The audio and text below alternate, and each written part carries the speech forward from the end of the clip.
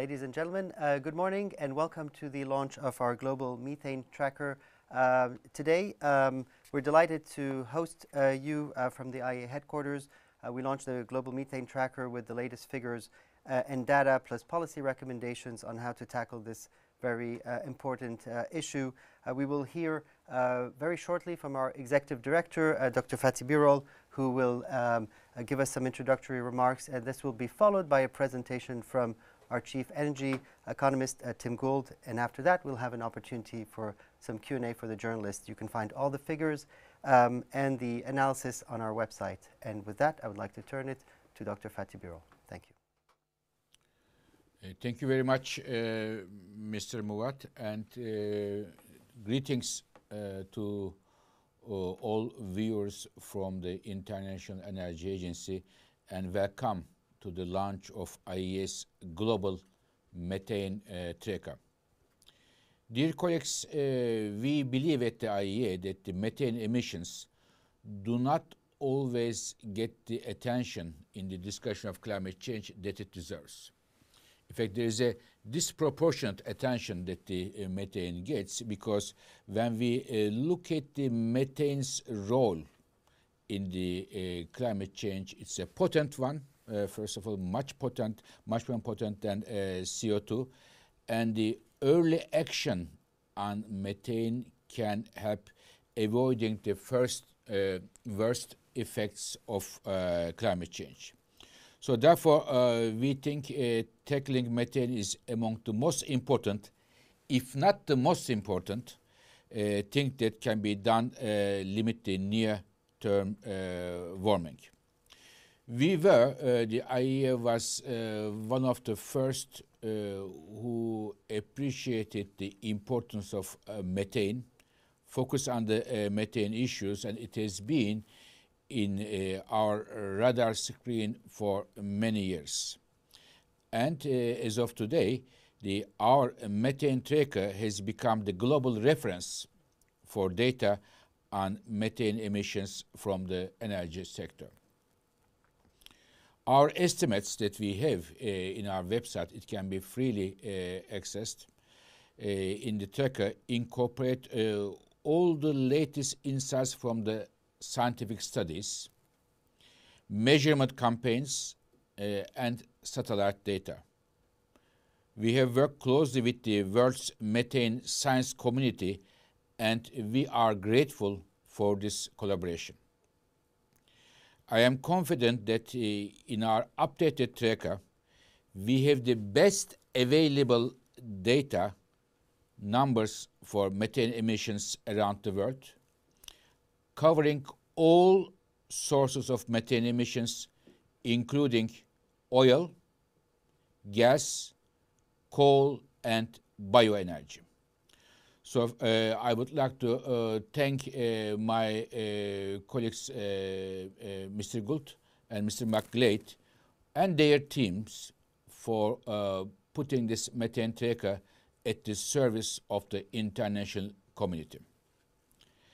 Now, what do our numbers show in the this year's global, global methane uh, tracker?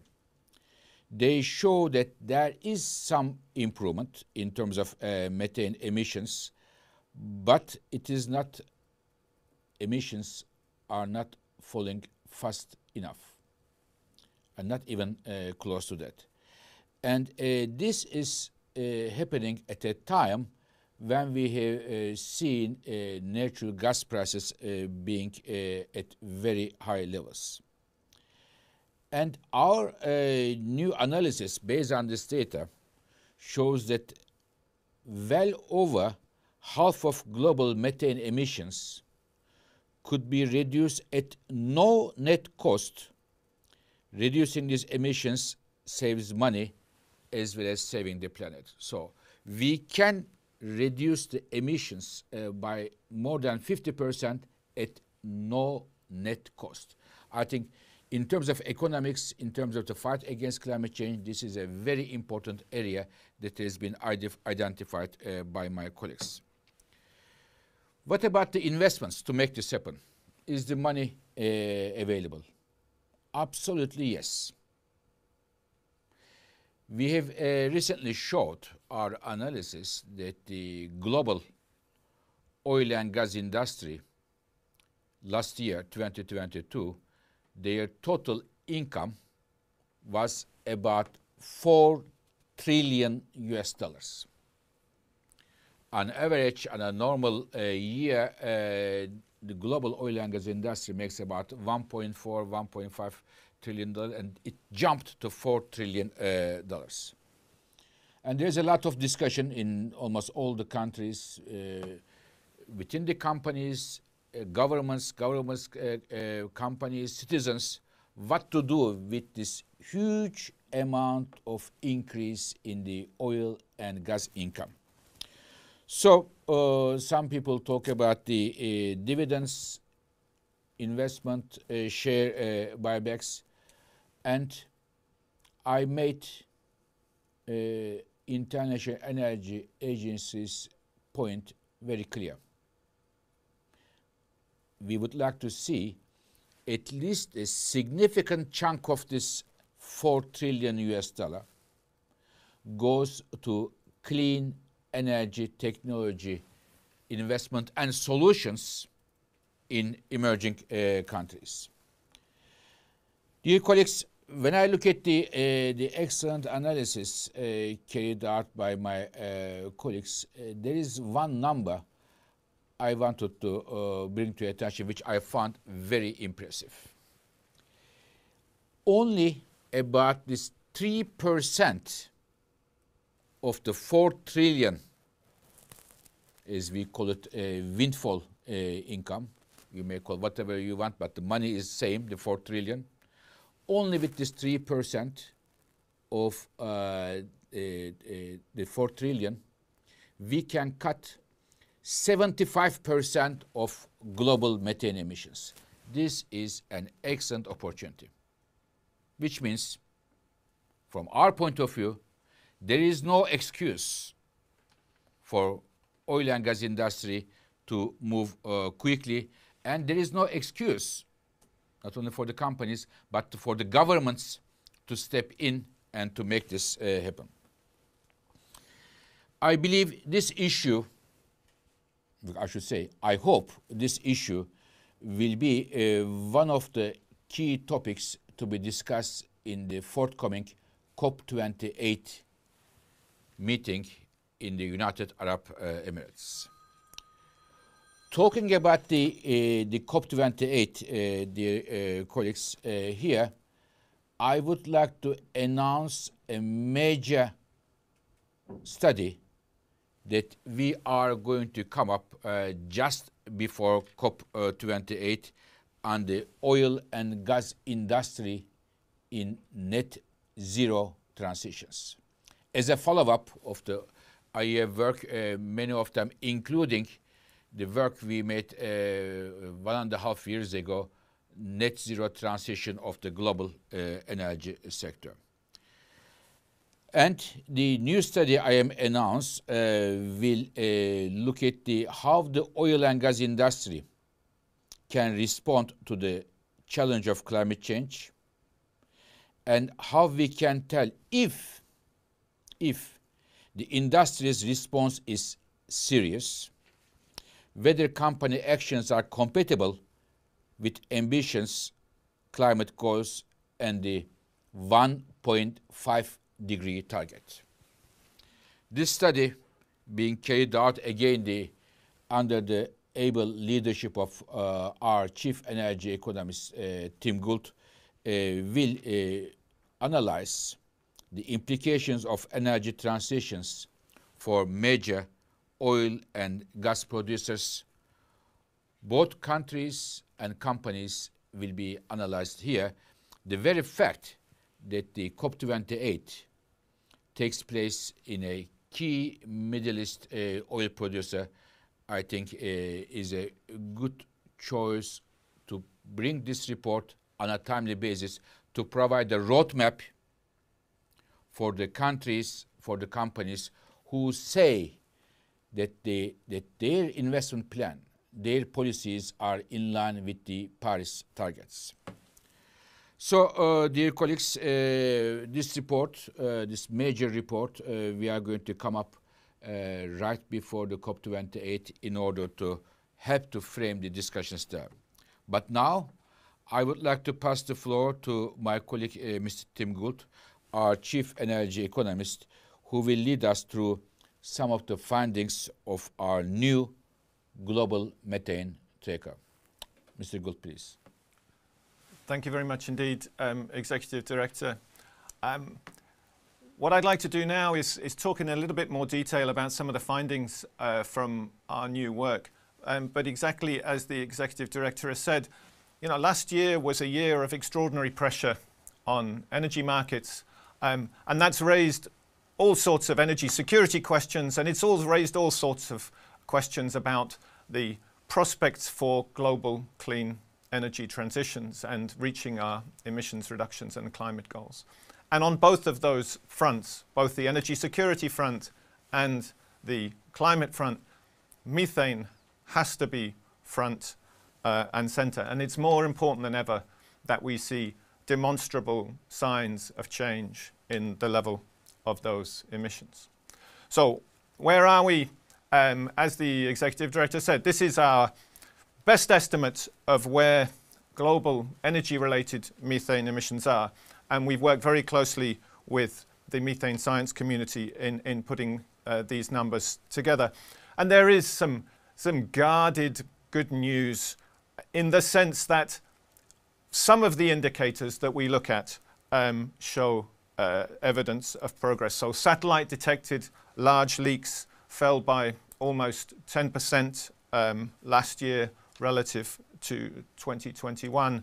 Um, and preliminary estimates that we have from our collaboration with the World Bank and, and the Payne Institute show a, a, mixed picture on flaring, but indeed also some uh, reductions. However, the emissions intensity of global oil and gas production and coal production um, remains far too high, uh, and it's not falling fast enough by, by any means.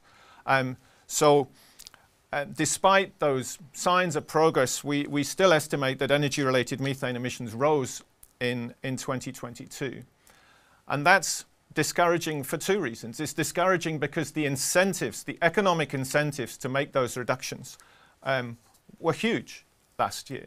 Uh, we had record natural gas prices in many markets around the world. So there was an extremely strong economic incentive to bring that methane to market. And of course, we also need to be looking at these emissions through the lens of the ever-pressing need to tackle uh, climate change. Let's have in mind that methane is responsible for around 30% of the observed warming so far. And if we are to get on track for net zero emissions and limit the temperature increase to 1.5 degrees, methane emissions from the energy sector, so those bars you're looking at on the screen, um, they need to see a, a 75% reduction by 2030. So that's a very steep decline um, from where uh, we are today.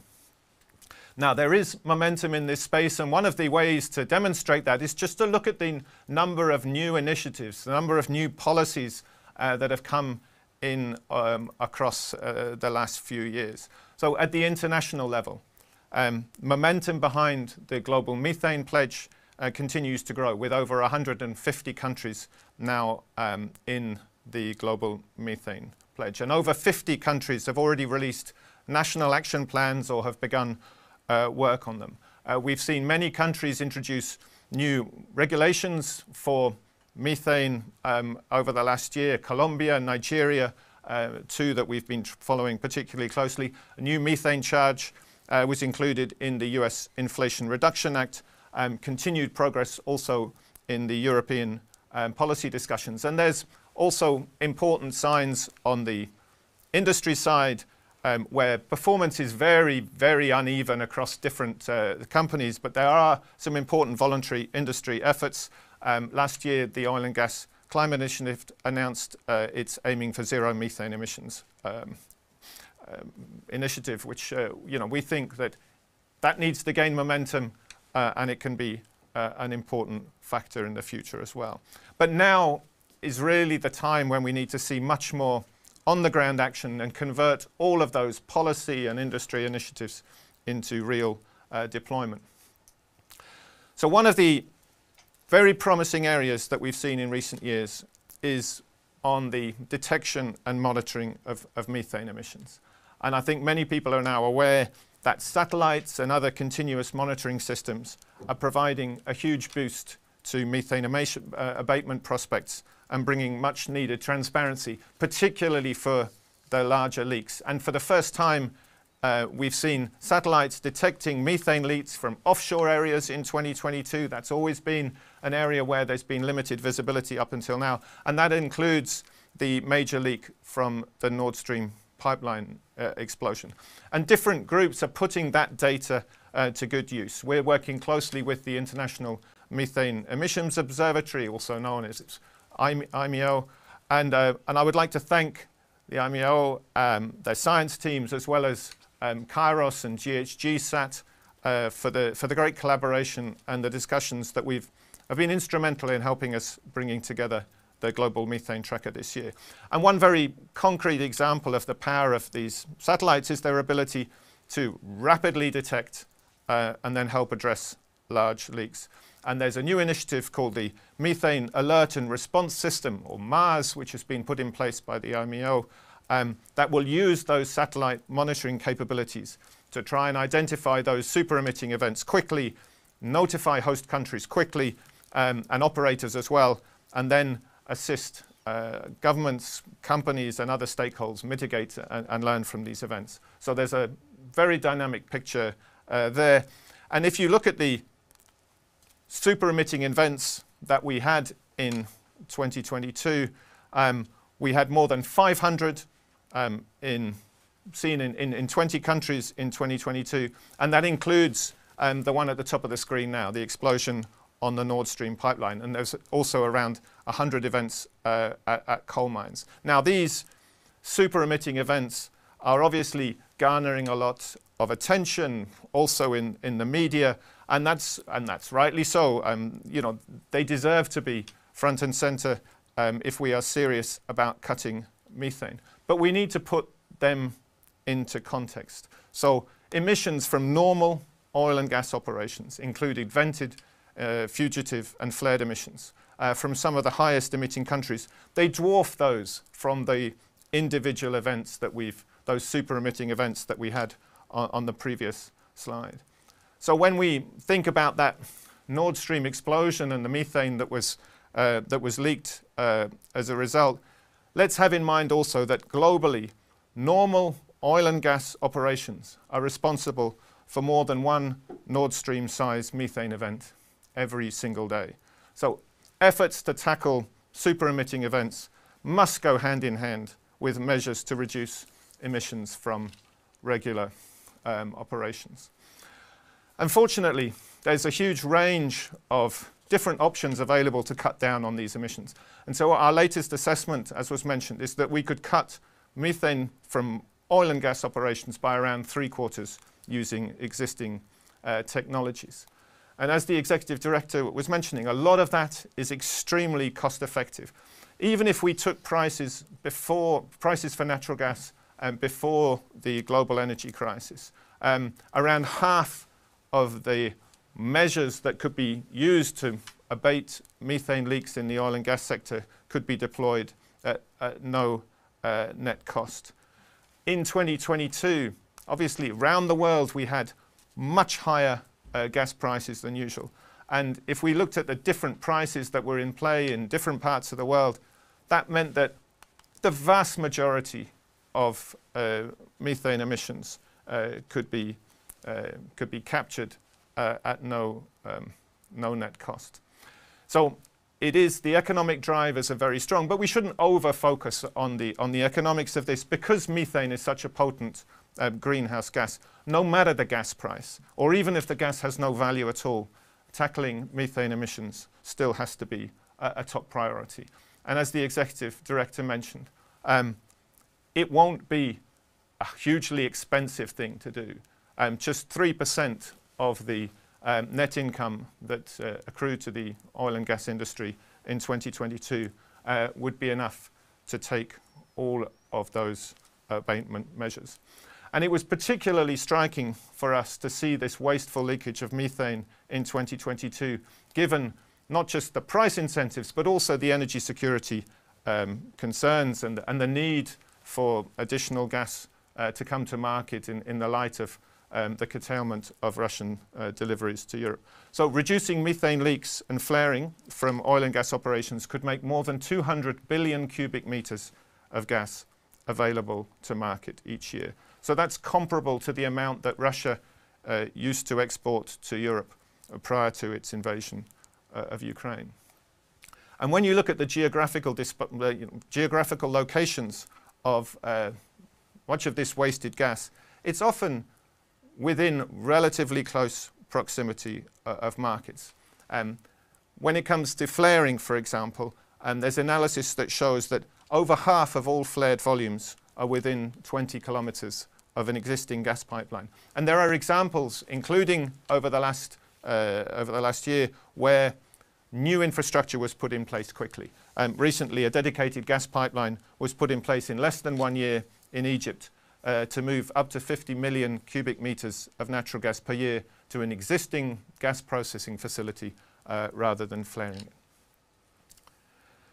Before concluding, I'd like to say a few words on coal. I focused a lot on oil and gas methane emissions um, in this presentation up till now. Um, but let's not forget that there are significant methane emissions also from um, coal operations. So that's around um, 40 million tons. So it's similar to the levels of methane emissions both from the oil sector or, or the gas sector.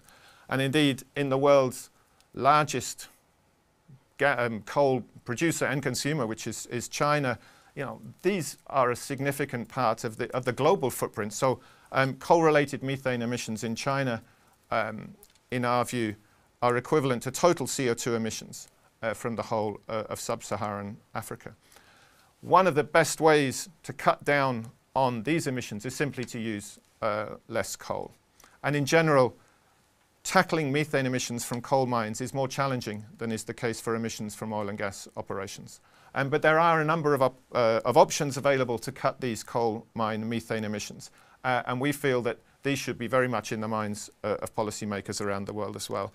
Um, and what we found in this year's analysis was that existing technologies could cut methane emissions in half uh, and an even greater share can be cut at underground coking coal mines. Um, coking coal, as a reminder, is used to produce steel and is generally hard to harder to displace than the steam coal, and that's mainly used uh, for, for power generation. So, uh, in addition to the numbers that we've provided in the tracker that we're announcing the update of uh, today, um, at the IEA, uh, we're also keen to push action and implementation. Um, and some of the work that we did last year was very much focusing not just on the environmental case for methane abatement, which is exceptionally strong, um, but also um, the energy security case uh, for doing the same.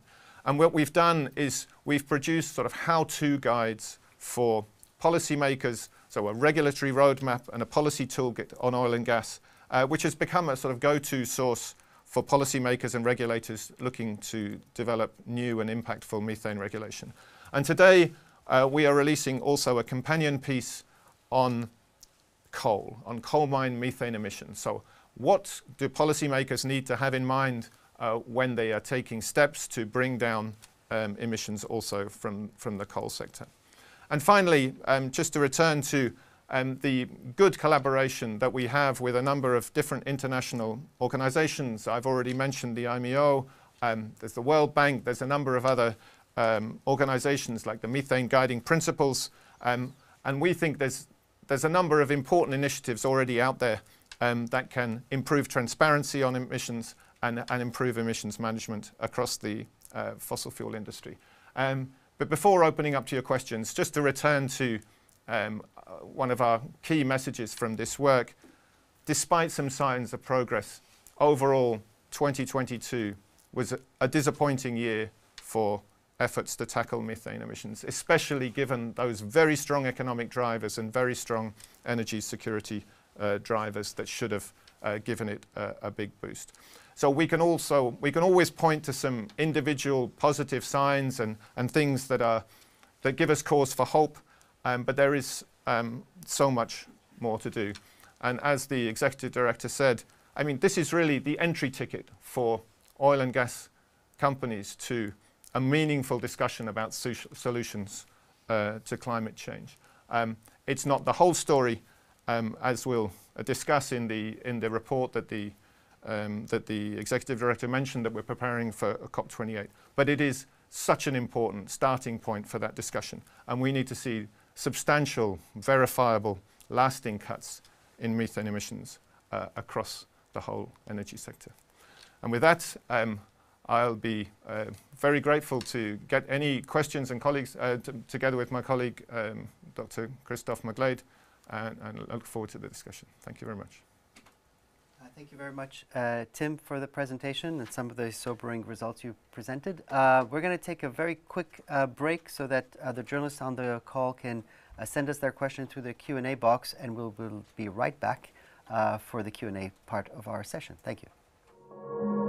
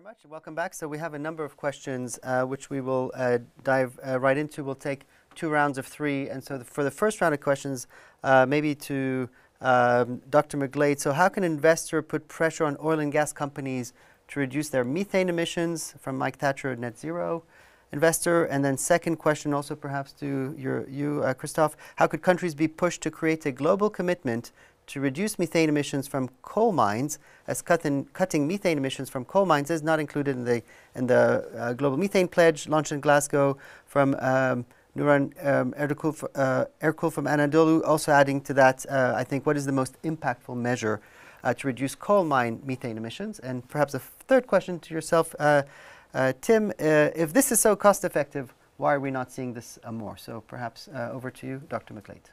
Thank you very much, Jad. As the Executive Director mentioned, this is one of the key questions that we are going to be addressing in the, the upcoming report looking at um, the role of the oil and gas industry um, towards COP28. But there is a lot that the investors can already be doing um, when um, discussing um, climate change and discussing alignment of oil and gas companies with net zero targets. Alignment is one, understanding what those companies are doing on the ground in terms of their investments, in terms of their investments into new technologies away from traditional operations, but really, what is very, very important is that for every single oil and gas company, whether it's an international oil and gas company, a national oil and gas company, a small independent, is that their own emissions are absolutely as low as possible. They need to have this zero tolerance towards methane emissions. Tackling methane emissions is the most important thing that oil and gas companies can do to lower the emissions intensity of their own production. And if we have that pressure coming from investors in helping those um, companies um, reduce their emissions, lending to um, projects which will reduce those um, uh, their own emissions. All of that will help move us on the right path towards getting um, that substantial reduction in the overall emissions intensity of oil and gas production. On the second question on, on the Global Methane Pledge, the Global Methane Pledge is uh, a target for all um, methane emissions from human activity. So it covers emissions from the oil and gas sector, it covers emissions from coal, it also covers emissions from bioenergy, as well as agriculture and waste. So it's a target to reduce all of those human um, made sources of emissions by about 30% by 2030. So it does include emissions coming from the coal sector. And as we set out in this year's tracker, we have looked for the first time at the different technologies and different options that are available to the coal sector, some of the most impactful things that we see is, first of all, whenever coal mining companies are opening up new areas within coal mines, there's, they need to degasify um, those areas before operations can start. And whether that's a surface mine or whether it's an underground coal mine, that can res result in a very highly concentrated source of methane emissions. So they degasify those mines. They have a lot of methane um, that is, that is there, and often they just vent that methane to the atmosphere. But it should be the case that because that methane is so concentrated, it's a cheap source of, of energy or of heat for um, their operation. So capturing that methane, using it for power, using it for heat, can be a very effective way to reduce um, emissions from coal mines in a cost effective way. Another important option is in underground mines. Um, as you may be aware, methane will seep out slowly from, from coal seams um, as operations are underway in an underground coal mine. And it's essential for worker safety that those uh, methane emissions don't build up. Um, so they have um, air that's constantly um, rotated around coal mines to ensure that there's no um, risk of explosions. But that ventilation air, as it's called, is, is then often just vented to the atmosphere.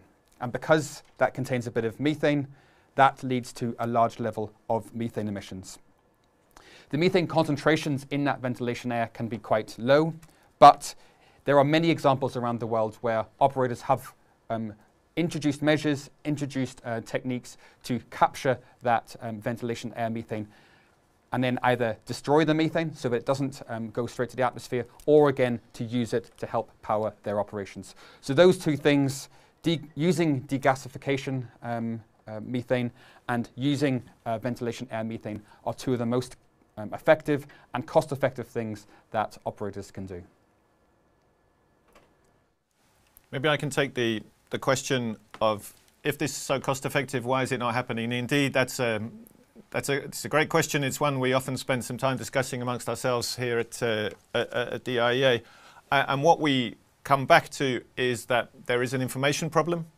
So often um, a company that is emitting methane is not aware of the level of leaks or it's not aware of the cost effectiveness of the abatement options. So we need to fill that information gap and many of the things we've discussed today, particularly in terms of better monitoring technologies, um, will help to, to, to do that.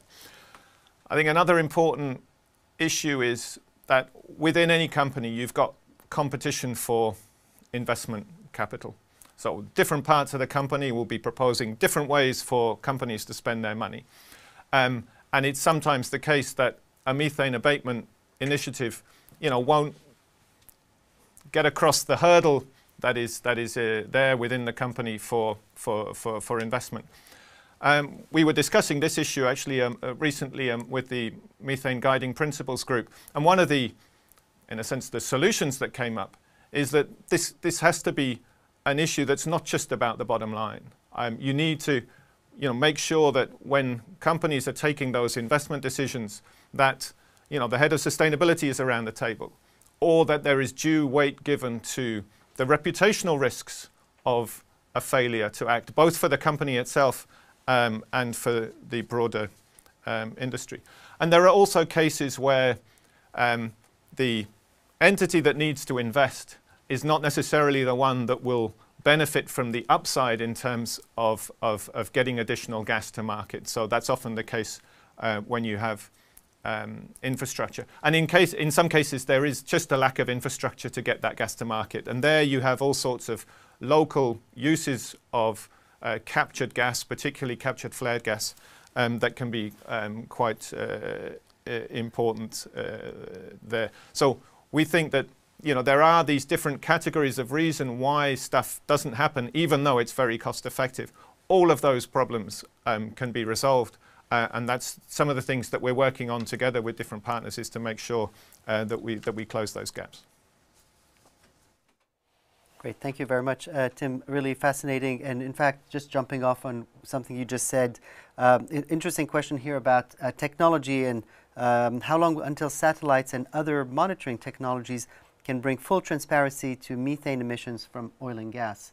Uh, this is something that we have in the report, and maybe to tag along, maybe a policy response um, in our second round of questions. How important um, in this situation is the passage of the U.S. Inflation Reduction Act? So maybe I'll take the first of these on the satellites and other uh, monitoring technologies. Indeed, this is a very dynamic area, and there's all sorts of advances being made, um, both in terms of the number of observations being made and, and, the, and the, detail um, that they can uh, reveal. So things are getting more promising, more exciting um, every year. There are still a number of, of blind spots, um, so we are, you know, not yet in a in a position where we have a, a comprehensive view.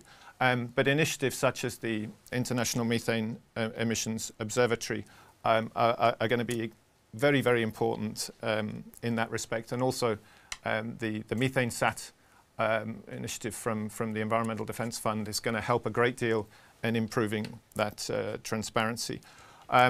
Um, so I think the, the message there is that it's moving, it's moving quickly.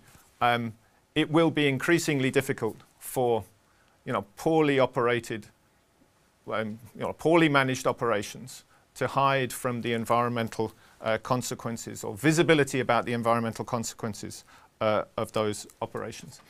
Um, so we are going to get much more information about where larger leaks are coming from, but that uncertainty over the data, it's really not an excuse for uh, inaction. We know more than enough um, to make a very strong case uh, for reducing methane leaks uh, from fossil fuel operations. And there are very tried and tested effective solutions that have been proven to work um, in different jurisdictions around the world and in different companies around the world. Um, and that's um, so in a sense we shouldn't wait for satellites to provide that last degree of transparency. We know more than enough uh, to make progress with abatement uh, already today. And on the question of the US Inflation Reduction Act, really this is a game changer. Um, it's a game changer for a, a, whole host of different reasons um, on clean energy technologies, but there's also a, a number of important elements in the Inflation Reduction Act on methane. Um, just to mention a few of these. The first is a, a requirement for oil and gas companies to report their emissions based on empirical and accurate measurements. And this is where, as we've been hearing from, from Mr. Gould, um, satellites will have an important part to play, but also on the ground measurement campaigns will continue to have um, an, a very important aspect to help boost that um, empirical and accurate measurement levels. The second element is on financing. The, the Inflation Reduction Act includes about $1.5 billion in financial and technical assistance to advance quickly methane abatement. And the final element is that there is a new charge that will be introduced at the federal level on methane emissions. It starts at about $900 per tonne um, next year and will then um, increase um, in the years um, thereafter. And that um, methane charge is, is at quite a high level. Um, it really should drive action from operators. If we put it into context, Norway has had a charge on methane emissions for a number of years now at a very similar level to what is going to be introduced in the United States. And Norway has the lowest emissions intensity of oil and gas production of any country in the world. And um, a large reason for that is because of the methane charge. So there's a huge number of important elements in um, the US Inflation Reduction Act, and we're very much looking forward to seeing how that plays out on the ground. Uh, thank you very much, uh, Christophe. Thank you very much, Tim. Uh, I would like to thank um, uh, everyone for watching and following us. This is obviously a very important, critical topic which we will be following uh, um, throughout this year, a particularly important year uh, for this uh, question. Um, I'd like to thank all your teams who contributed to this report. And you can find all the findings, the data, um, all of the analysis behind this on our website at iea.org. If you have any more questions, please reach out to press at iea.org. And don't forget to sign up to our newsletter also on the website. Thank you very much.